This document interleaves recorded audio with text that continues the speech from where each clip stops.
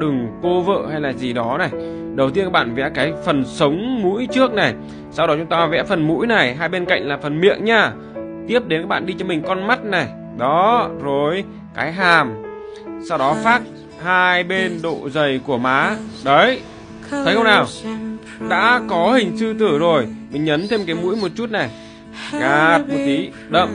Nháy cái miệng ghi cái mắt, nhấn đậm lên. Hai đầu mắt đậm, có một lòng đen ở bên trong.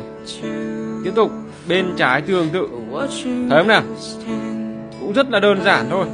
Xung quanh các bạn vẽ cho mình cái bờ bờ đi ra ngoài. Đó, gạt luôn một mạch luôn này.